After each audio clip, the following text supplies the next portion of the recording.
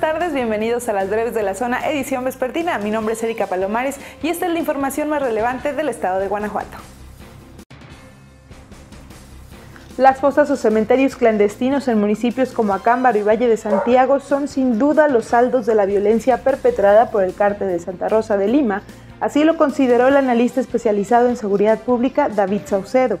El también asesor advirtió que en lo particular los restos encontrados en Acámbaro corresponden a personas víctimas de secuestro y extorsión, por lo que se trataría de población civil. Agregó que ha documentado que estos cementerios clandestinos se ubican en cabeceras municipales pues son vigilados por halcones, mientras todos los movimientos son ante la vista gorda de la autoridad municipal.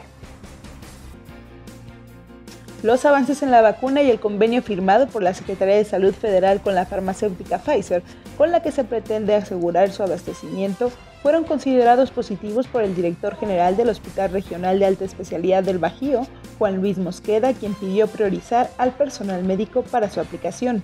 Fue ayer cuando el secretario de Salud Federal, Jorge Alcocer, firmó el convenio con la farmacéutica para la fabricación y suministro de 34.4 millones de vacunas contra el COVID-19.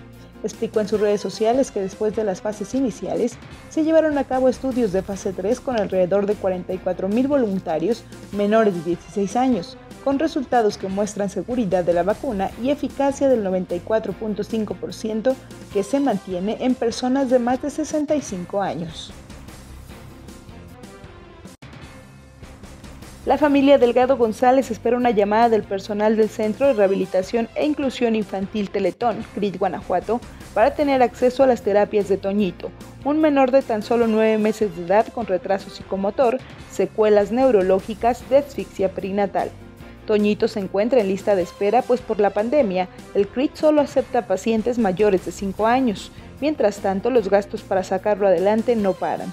Con la ayuda de la gente en colectas, rifas y la venta de dulces, los padres han solventado los gastos superiores a 60 mil pesos entre terapias, medicamentos, consultas pediátricas y con especialistas. Los interesados en aportar a la causa de Toñito pueden ponerse en contacto con los padres a través de Zona Franca.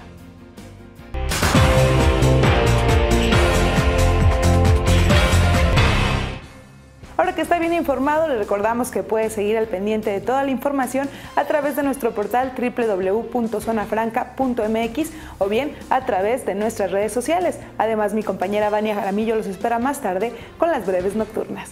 Hasta la próxima.